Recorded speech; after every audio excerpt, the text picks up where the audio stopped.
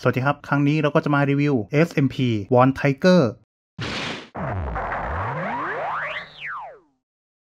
รั้งนี้เรากลับมาอยู่กับของในไลน์ SMP นะครับ ซึ่งก็จะเป็นหุ่นยนต์ตัวที่ 2 จากกระบวนการ d i r a n g e r นั่นก็คือ w a r n Tiger นั่นเองนะฮะสำหรับหน้ากล่องนะครับเขาก็จะทำมาโดยคงคอนเซปต์อิงตามดีไซน์ DX เมื่อก่อนนะฮะหน้ากล่องนี้ก็จะเป็นรูปของ w a r n Tiger ในร่างนักรบยืนอยู่แบบนี้ แล้วก็มีรูปของคิบะเรนเจอร์กับไดเรนเจอร์ทั้ง 5 คน แล้วก็โลโก้เรื่อง五星戦隊ダイレンジャーแล้วตรงนี้ก็จะมีรูปของ w a r n Tiger ในร่างของคิเดนจู ซึ่งก็จะมีเขียนไว้ว่าキバレンジャーの気伝獣หรือก็คือคิเดนจูของคิบะเรนเจอร์แล้วตรงนี้ก็จะมีเขียนไว้นะครับว่า気伝獣ウォンタイガーแล้วตรงนี้ก็จะมีเขียนว่า動く回る気伝獣から気伝武人へ大変化หรือว่าคือขยับและหมุนแปลงร่างจากคิเดนจูกลายเป็นโหมดนักรบคิเดนบุจิน แล้วตรงนี้ก็จะเป็นโลโก้ของ Won Tiger ส่วนด้านข้างกล่องก็จะเป็นแบบนี้นะครับ ก็จะมีให้ดูขั้นตอนการแปลงร่างจากโหมดคิเดนจูเป็นคิเดนบุจินนะฮะ ส่วนด้านหลังกล่องก็จะเป็นแบบนี้นะครับ เขาก็จะทำมาเป็นแนวนอนนะฮะ ก็จะเป็นรูปของ Won Tiger ในโหมดของคิเดนจูที่เป็นเสือ แล้วก็มีเขียนว่า気伝獣から気伝武人へ大変化 หรือก็คือแปลงร่างจากคิเดนจูกลายเป็นนักรบคิเดนบุจิน แล้วตรงนี้ก็จะมีรูปของโหมดคิเดนบุจินยืนอยู่แบบนี้นะฮะ แล้วที่ด้านหลังนี่ก็จะมีคิบะไดโอที่เป็นร่างรวมของวอนไทเกอร์กับคิเดนจูอีก 4 ตัวนะฮะ แล้วก็มีรูปของไดเรนเจอร์ทั้ง 6 คนอยู่ตรงนี้ พร้อมกับโลโก้วอนไทเกอร์อยู่ตรงนี้ ส่วนด้านข้างกล่องก็จะเป็นแบบนี้นะฮะ ก็จะมีให้ดูกิมมีการรวมร่างระหว่างวอนไทเกอร์กับเทนคูคิเดนกลายเป็นคิบะไดโอนะฮะ แล้วตรงนี้ก็จะมีเขียนไว้นะครับว่าこれが新生合体だ สำหรับแพ็กเกจก็จะประมาณนี้นะครับ แค่กล่องก็ทำออกมาสวยจนผมประทับใจแล้วนะครับ เดี๋ยวลองไปแกะดูแผงข้างในกันนะครับว่าจะเป็นยังไง เมื่อแกะออกมาจากกล่องเราก็จะมีแผงอยู่ทั้งหมดประมาณนี้นะฮะ ก็มีปริมาณไม่เยอะมากนะครับ เดี๋ยวลองไปดูคร่าวๆทีละแผงนะฮะ อันนี้ก็จะเป็นในส่วน part สีขาว ซึ่งจะเป็นสีหลักของวอนไทเกอร์นะครับ ก็จะเห็นว่าที่ part เนี่ยจะมีลายที่เขาทำมาให้อารมณ์ดูเหมือนเป็นลายหินอ่อนด้วยนะฮะ ซึ่งอันนี้เนี่ยเขาก็ทำมาอ้างอิงจากตัว DX ที่ขายในยุคนั้นนะครับ แต่ส่วนตัวแล้วนะครับผมรู้สึกเหมือนกับว่ามันดูเหมือนขึ้นรามากกว่าเป็นหินอ่อนนะฮะ อันนี้ก็จะเป็นส่วนหัวของวอนไทเกอร์นะครับ ก็ลงสีดวงตาแล้วก็สีดำที่หัวตรงนี้มาเรียบร้อยแล้ว แล้วอันนี้ก็จะเป็นในส่วนใบหน้าของคิบะไดโอนะครับเขาก็ลงสีมาให้เรียบร้อยแล้วแบบนี้ อันนี้ก็น่าจะเป็นในส่วนของ part ขานะฮะซึ่งก็จะเป็นสีขาวที่มีลายหินอ่อน อันนี้ก็จะเป็นพวก part เกราะหัวไหล่แล้วก็เกราะแขนนะฮะแล้วนี้ก็จะเป็นส่วนใบหน้าของวอนไทเกอร์ในโหมดคิเดนบูจินนะฮะเขาก็ลงสีมาค่อนข้างละเอียดเลยนะครับแล้วนี้ก็จะเป็นในส่วนของสติกเกอร์นะครับก็มีปริมาณพอสมควรนะครับแต่ถ้าเทียบกับของไดเรนโอแล้วเนี่ยก็ค่อนข้างจะน้อยกว่านะฮะสำหรับแผงคร่าวๆก็จะประมาณนี้นะครับเพื่อไม่เป็นการเสียเวลาเดี๋ยวไปดูกันเลยดีกว่าว่าหลังจากประกอบเสร็จแล้วจะออกมาหน้าตาเป็นยังไง เมื่อประกอบเสร็จแล้วก็จะมีหน้าตาเป็นแบบนี้นะครับ อันนี้ก็จะอยู่ในโหมดของคิเดนจูวอนไทเกอร์อยู่นะฮะ ซึ่งตัว SMP ก็ทำออกมาได้ค่อนข้างสวยอยู่นะครับ ทรงเนี่ยดูใกล้เคียงกับในหนังมากเลย เดี๋ยวลองไปดูรายละเอียดใกล้ๆพร้อมจุดขยับแล้วก็กิมมิคกันนะครับ มาเริ่มดูกันที่ส่วนหัวนะครับ ส่วนหัวนี่ไม่มีจุดไหนเป็นสติกเกอร์เลยนะครับ ตรงนี้ถือว่าทำมาได้ค่อนข้างดีเลย ที่ตาแล้วก็ลายสีดำข้างหัวนี่เขาลงสีมาให้เรียบร้อยแล้วนะฮะ สีทองของ part ด้านบนหัวนี่ก็ถือว่าทำออกมาได้ค่อนข้างโอเคเลย แล้วที่ปากนี่ก็จะมีกิมมิคสามารถอ้าได้แบบนี้นะฮะ ซึ่งนอกจากจะอ้าได้แล้วเนี่ยก็ยังมีอีกกิมมิคหนึ่งที่ผมชอบมากๆเลยนะครับนั่นก็คือด้านในปากของวอนไทเกอร์นี่นะครับในหนังเนี่ยเขาก็จะสามารถใช้ท่าที่เป็นท่าต่างๆ ได้นะครับด้วยการเปลี่ยนลูกแก้ว ซึ่งพอโคที่อยู่ใน cockpit เปลี่ยนลูกแก้วแล้วเนี่ยคันจิของลูกแก้วในปากของวอนไทเกอร์ก็จะเปลี่ยนไปตามลูกแก้วที่เปลี่ยนนะแล้ว SMP เขาก็ให้กิมมิคนี้มาด้วยนะครับอย่างตอนนี้เนี่ยจะยังไม่มีคันจิอะไรนะครับแต่ถ้าเกิดว่ากดปากล่างลงไปก็จะมีคันจิขึ้นมาอย่างนี้นะครับ ดูในกล้องอาจจะดูไม่ค่อยชัดเท่าไหร่นะฮะ ตัวแรกนี่ก็จะเป็นสกินะครับ แล้วก็เรียงไปอีกทีมันก็จะหมุนมาเป็นฮิแล้วก็จะเรียงแบบนี้ไปเรื่อยๆนะครับ พอฮิแล้วก็เป็นซุยแล้วก็เป็นคิแล้วก็เป็นคิน แล้วก็เป็นจิแล้วก็เป็นฮิจากนั้นก็จะกลับมาเป็นสีดำแบบไม่มีอะไรนะฮะ นี่เป็นลูกเล่นที่ดีมากๆเลยนะครับ เจ๋งมากๆเลย ซึ่งช่วงหัวเนี่ยจะไม่มีจุดขยับอะไรนะครับ ก็จะขยับอะไรไม่ได้ ส่วนช่วงขาหน้านี่ลายที่เห็นทั้งหมดนี้จะเป็นสติกเกอร์หมดเลยนะครับ แล้วก็จะขยับไปข้างหน้าข้างหลังได้360 แบบนี้ หัวเข่าขาหน้าก็จะสามารถยกขึ้นได้ถึงขนาดนี้ ข้อเท้าขาหน้าก็สามารถยกไปข้างหน้าข้างหลังได้นิดหน่อยแบบนี้นะฮะ และช่วงกรงเล็บของเท้าหน้านี่นะครับเขาก็ทำจุดขยับช่วงข้อเท้าให้เป็นบานพับ สามารถงอเข้าด้านในได้แบบนี้นะครับเพื่อช่วยเรื่องจัด balance และที่ใต้เท้าก็จะมี detail แบบนี้นะครับจุดสีขาวพวกนี้จะเป็นสติกเกอร์นะครับแต่ว่าสัญลักษณ์ของคิบาเรนเจอร์จะเป็น part ที่เขาแยกสีมาให้แล้วนะส่วนที่ช่วงลำตัวนะครับข้างใต้นี่จะเห็นว่าจะมี part นี้อยู่นะฮะซึ่ง part นี้เนี่ยจะเป็น part เหลือที่ใช้เฉพาะเวลาแปลงร่างเป็นโหมดคิเดนบูจินนะครับจริงๆแล้วนี่ถ้าตามในคู่มือก็คือ จะไม่ได้บอกว่าให้เอา part นี้มาติดตรงนี้นะครับแต่ว่าถ้าไปดูในบล็อกของ Bandai เนี่ยเขามีแนะนำไว้นะครับว่าสามารถเอา part เหลือเนี่ยมาติดตรงนี้ได้ ซึ่งมันก็พอดีเป๊ะเลยนะครับเอามาติดได้จริงๆแล้วมองจากด้านบนก็จะเป็นแบบนี้นะครับพวกลายเส้นสีดำสีแดงทั้งหมดเนี่ยเป็นสติกเกอร์หมดเลยนะฮะและช่วงขาหลังก็จะสามารถยกไปข้างหน้าข้างหลังได้แบบนี้นะฮะข้อเท้าก็ยกขึ้นยกลงได้แบบนี้ ส่วนหางก็ขยับขึ้นขยับลงได้นิดหน่อยแบบนี้นะฮะเทียบขนาดในโหมดคิเดนจูกับ Robot Tamashii กันดั้มดูก็จะต่างกันประมาณนี้นะฮะกันดั้มก็จะตัวสูงกว่านะครับวอนไทเกอร์ถ้าเทียบจากหัวจะสูงอยู่ที่ประมาณต้นขาของกันดั้มนะครับลองเทียบในโหมดคิเดนจูกับตัวอื่นๆก็จะได้แบบนี้นะครับในโหมดนี้เนี่ยวอนไทเกอร์ก็จะตัวใหญ่ที่สุดเลยนะครับ ลองมา pose เหมือนกับกำลังวิ่งดูก็จะได้แบบนี้นะฮะในหนังเนี่ยสำหรับผมภาพติดตาของวอนไทเกอร์ในโหมดคิเดนจูเนี่ยก็คือท่าวิ่งเนี่ยนะครับที่เขาจะขยับ 2 ขาหน้ากับ 2 ขาหลังแยกไปพร้อมกัน จริงๆ มันก็อาจจะดูแปลกๆนะครับเพราะว่าเสือปกติมันก็ไม่ได้วิ่งอย่างนี้ แต่ก็ถือเป็นภาพจำติดตาจากในหนังมากเลยนะครับซึ่ง SMP ก็ pose ท่านี้ได้โดยที่ไม่มีปัญหาอะไรนะครับ ลองให้ริวเซโอขึ้นไปขี่เหมือนกับในหนังดูก็จะได้แบบนี้นะฮะก็สามารถเอามาขี่ได้นะสเกลนี่ถือว่าโอเคเลยดูใกล้เคียงกับในหนัง แต่ว่าการเอามาขี่เนี่ยก็จะไม่ได้มีล็อกอะไรนะครับจะเป็นแค่การเอาริวเซโอเนี่ยมานั่งบนหลังของวอนไทเกอร์เฉยๆเลยถัดไปนะครับก็จะเป็นกิมมิคการแปลงร่างจากโหมดคิเดนจูกลายเป็นคิเดนบูจินนะครับウォンタイガー武人変化 ขั้นแรกนะครับก็เริ่มจากตรงขาหน้านี่นะฮะให้พับกรงเล็บขึ้นไป แล้วก็หมุนออกด้านข้างแบบนี้ก็จะได้แขนแล้วนะครับ อีกข้างก็ทำเหมือนกันนะครับ พับกรงเล็บขึ้น หมุนแขนไปด้านข้าง จากนั้นนะพลิกไปข้างใต้ ถอด part นี้ออกมาก่อนนะฮะ แล้วก็ปลดล็อกช่วงลำตัวท่อนบนกับท่อนล่าง งอท่อนล่าง ให้พับลงมา ให้ลงล็อก แบบนี้ จากนั้นมาที่ช่วงท้ายนะครับ ถอดส่วนหางที่เป็นดาบออกมาก่อน แล้วก็ยก part ขาหลังขึ้นมาให้ตรงแบบนี้ จากนั้นก็เก็บเท้าหลังขึ้นไป จากนั้นก็ให้กางโยก part ขาหลังทั้งหมดนี่ลงมาข้างล่างแบบนี้ เพื่อให้เป็นเท้าของวอนไทเกอร์พอได้แบบนี้แล้วนะครับ ให้ปลดล็อกเกราะด้านบน ออกมาแบบนี้ แล้วก็โยกลงมาข้างล่าง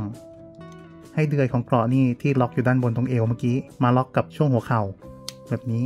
แล้วก็พลิกไปดูที่ใต้เท้านะครับ ให้ล็อกตรงเกราะมาล็อกกับข้างเท้าแบบนี้ เท่านี้ก็จะได้ขาข้างแล้วนะครับ อีกข้างก็ทำเหมือนกันเลยนะครับ เอา part ขาหลังนี่ลงมาให้ตรง เก็บ part เท้าหลังกางหน้าแข้งออกมาให้เป็นเท้า โยกเกราะจากด้านบนลงมาให้เป็นเกราะหน้าแข้ง กดให้เข้าล็อกมาดูใต้เท้า ให้ล็อกกับเกราะเรียบร้อยแล้วนะครับ ก็จะได้ขาสองข้าง สุดท้ายนะครับมาที่ส่วนหัวด้านบนนะฮะให้ยกขึ้น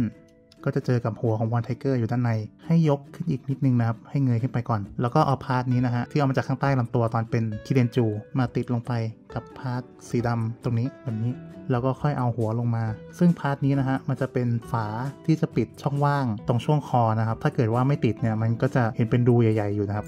เท่านี้ก็จะแปลงร่างเป็นโหมดคิเดนบูจินเสร็จสมบูรณ์แล้วนะครับกิมมิคแปลงร่างถือว่าทำออกมาได้น่าประทับใจมากๆเลยนะฮะแปลงออกมาเป็นโหมดหุ่นได้ค่อนข้างสวยเลยนะครับเดี๋ยวเราไปดูรายละเอียดใกล้ๆพร้อมจุดขยับกันนะครับมาเริ่มดูที่ส่วนหัวนะครับที่ใบหน้านี่เขาลงสีมาให้เรียบร้อยหมดแล้วนะครับค่อนข้างสวยเลยแล้วจุดขยับก็จะเป็น ball joint นะครับหมุนไปซ้ายไปขวาได้360แล้วจุดขยับช่วงหัวไหล่ก็จะเป็น butterfly นะครับสามารถยกมาข้างหน้าได้ถึงขนาดนี้ แล้วก็ยังดึงออกมาได้แบบนี้ เพื่อให้ยกมาข้างหน้าได้มากขึ้นเลยนะครับแล้วก็จะยกไปข้างหน้าข้างหลังได้360แบบนี้ ยกขึ้นด้านข้างได้ถึงขนาดนี้ ส่วนช่วงต้นแขนเนี่ยก็ยกขึ้นด้านข้างได้เหมือนกันนะครับ ถึงขนาดนี้ ส่วนข้อศอกก็จะเป็น single joint นะครับ สามารถงอได้ถึงขนาดนี้ ส่วนข้อมือก็หมุนไปซ้ายไปขวาได้ 360 แบบนี้ ส่วนช่วงลำตัวตรงหน้าอกก็จะเป็นหน้าเสือของวอนไทเกอร์อยู่แบบนี้นะฮะ แล้วก็แน่นอนว่ากิมมิคการเปลี่ยนคันจิของลูกแก้วในปากเนี่ยก็ยังทำได้เหมือนเดิมนะฮะ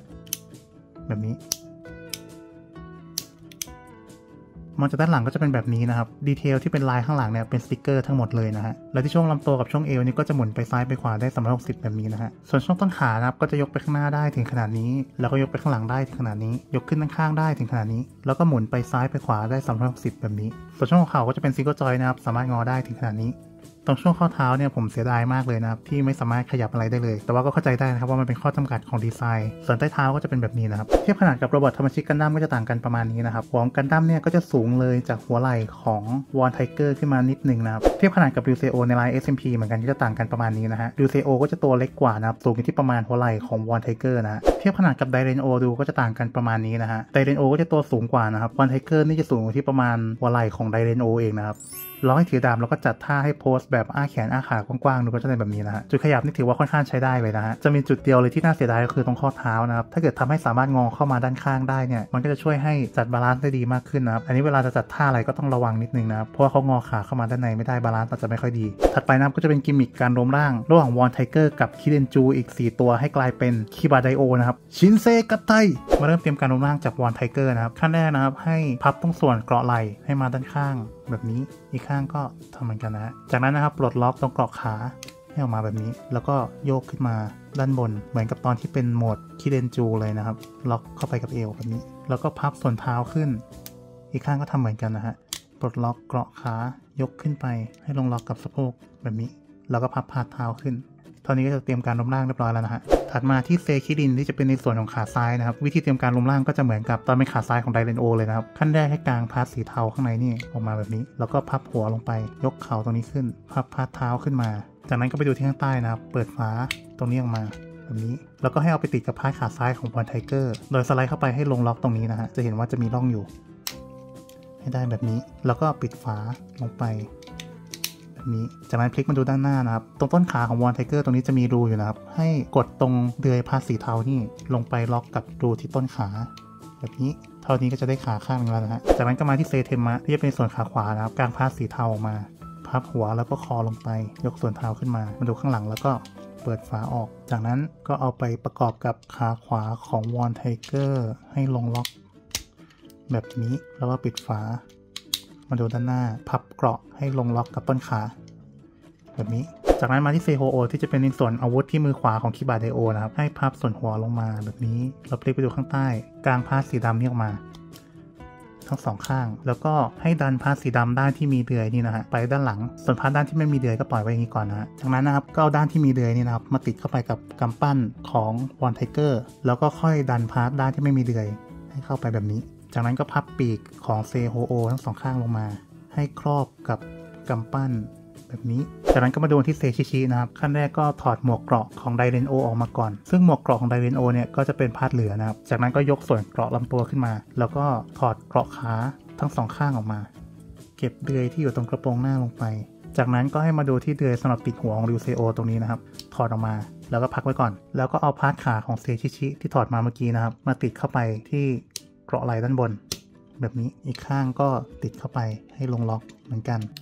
แบบนี้จากนั้นนะครับมาดูที่ลำตัวของวอนไทเกอร์ให้ดึงส่วนด้านข้างนี่ออกมา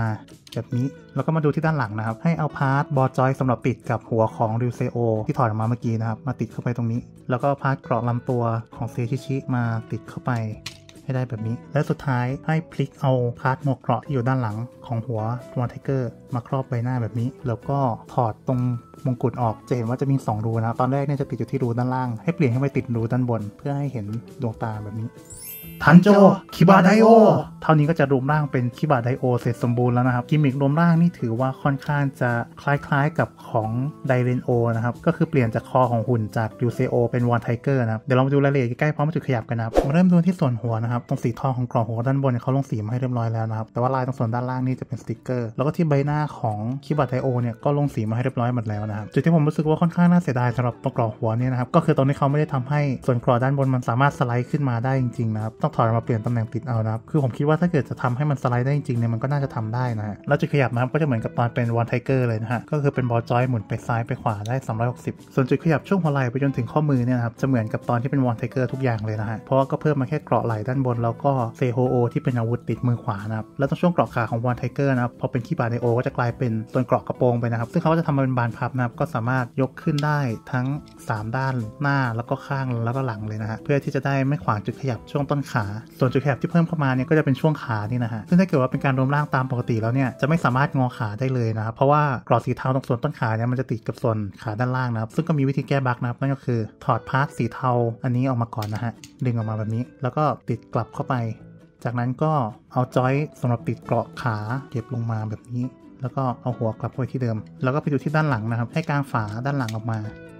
พับลงไปแบบนี้ ก็จะเป็น double joint นะครับ สามารถงอได้ถึงขนาดนี้ แล้วตรงส่วนช่วงข้อเท้านะครับ ก็จะเหมือนกับตอนเป็นไดเรนโอเลยนะครับ ก็คือจะเป็นบานพับโยกไปข้างๆ ได้ งอขึ้นงอลงได้แบบนี้ ส่วนใต้เท้าก็จะเป็นแบบนี้นะฮะ ก็จะไม่ได้มี detail อะไร เทียบขนาดกับ Robot Damashii กันดั้มก็จะต่างกันประมาณนี้นะครับ พอรวมร่างแล้วเนี่ยกันดั้มก็จะสูงที่ประมาณสะโพกของคิบาไดโอนะครับ เทียบขนาดกับริวเซโอดูก็จะต่างกันประมาณนี้นะครับริวเซโอก็จะสูงที่ประมาณต้นขาของคิบาไดโอ ลองมา pose เหมือนกำลังตั้งท่าต่อสู้ดูก็จะได้แบบนี้นะครับ ช่วงท่อนบนเนี่ยก็สามารถ pose ได้ปกตินะฮะ แต่ว่าที่จะมีปัญหาเนี่ยจะเป็นช่วงท่อนล่างนะครับตต้นขาเนี่ยเกราะมันจะไปติดกับกระโปรงด้านข้างนะครับ ก็จะเป็น bug นิดนึงนะครับทำให้ขยับต้นขาได้ไม่ค่อยอิสระเท่าไหร่นะฮะ แต่ก็ถือว่าสามารถ pose ออกมาได้ค่อนข้างโอเคนะฮะ ไม่ได้ดูแย่飛翔拳 木っ端微塵 ลองมา pose เป็นตอนที่ใช้ท่าไม้ตายดูจะได้แบบนี้นะฮะ ท่านี้ก็จะเป็นการปล่อยเซโฮโอที่อยู่ที่มือบินออกไปทะลุทะลวงศัตรูนะครับ ซึ่งก็แน่นอนว่า SMP นี่ก็สามารถนำมา pose ท่านี้ได้โดยไม่มีปัญหาอะไรนะครับตัวเซโฮโอยังไงก็ถอดออกมาได้อยู่แล้วนะฮะ แค่ถอดตัวเซโฮโอออกมาจากมือแล้วก็เอากลับมาเป็นร่างนกนะเป็นกันบ้างครับกับ SMP Won Tiger ตัวนี้นะครับ โดยส่วนตัวแล้วนะผมรู้สึกว่าก็ค่อนข้างโอเคเลยนะครับ อาจจะมี bug นิดหน่อยตรงช่วงขานะครับ แต่ว่ามันก็เป็น bug ที่เกิดมาจากดีไซน์ตั้งแต่แรกแล้วนะฮะ ยังไงก็ถือว่าเอามาเล่นได้ค่อนข้างสนุกอยู่ในระดับหนึ่งนะครับ ยิ่งถ้าเกิดว่ามีไดเรนโออยู่แล้วด้วยเนี่ยจะไม่มีวอนไทเกอร์ก็คงจะไม่ได้นะฮะ ไม่งั้นก็จะไม่ครบ気伝獣ของไดเรนเจอร์ทั้ง 6 คนนะฮะ ซึ่งกิมมิคโดยรวมเนี่ยผมว่าเขาก็ทำออกมาได้ค่อนข้างโอเคนะครับเท่าที่เล่นดูแล้วก็รู้สึกว่าเขาก็พยายามแก้ bug เท่าที่แก้ได้แล้วนะฮะสำหรับคะแนนนะผมจะขอให้ไปที่ 8 เต็ม 10 ครับ ส่วนมากนี่จะถูกหักไปในเรื่องของช่วงท่อนล่างนะครับที่จะขยับได้ไม่ค่อย full action เท่าไหร่นะฮะเวลาเล่นก็จะแอบรู้สึกติดขัดนิดหน่อย แต่นอกจากข้อเสียที่เป็นจุดใหญ่ตรงนี้เนี่ยที่เหลือก็ทำออกมาโอเคนะครับสติกเกอร์นี่ถ้าเทียบกับไดเรนโอก็ค่อนข้างน้อยกว่า พอสมควรเลยนะฮะลงสีแล้วก็แยกสีออกมาได้ค่อนข้างโอเคเลย ยังไงถ้าเกิดว่าใครที่เป็นแฟนไดเรนเจอร์นะครับหรือว่ามีไดเรนโออยู่แล้วเนี่ยก็ห้ามพลาดวอนไทเกอร์ตัวนี้เด็ดขาดเลยนะครับสำหรับการรีวิวในครั้งนี้ก็จะประมาณนี้นะครับใครที่รับชมมาถึงตอนนี้ผมก็ต้องขอขอบคุณมากๆเลยนะครับมีความคิดเห็นอะไรเกี่ยวกับ SMP Won Tiger ตัวนี้ หรือว่าจะเกี่ยวกับซีรีส์ d i r a n g e r ใครชอบหุ่นตัวไหน ชอบหุ่นร่างไหนกันบ้าง หรืออยากจะติชมรายการก็สามารถคอมเมนต์พูดคุยกันได้เต็มที่เลยนะครับ สุดท้ายนี้นะถ้าเกิดว่าดูคลิปนี้จบแล้วชอบก็อย่าลืมกดไลค์แล้วกดแชร์ไปเพื่อนๆพ่อแม่พี่น้องได้รับชมกันด้วยนะครับ แล้วถ้าเกิดว่าชอบมากๆนี่ก็ยังสามารถกด Super Thanks เพื่อช่วย support ค่าน้ำค่าไฟให้กับช่องได้ด้วยนะครับ ส่วนครั้งหน้าจะเป็นอะไรเนี่ยก็อย่าลืมกดติดตามมาไว้ด้วยนะครับสำหรับครั้งนี้ต้องขอลาไปก่อน เจอกันใหม่เสาร์หน้า ขอบคุณทุกท่านที่รับชมครับ สวัสดีครับ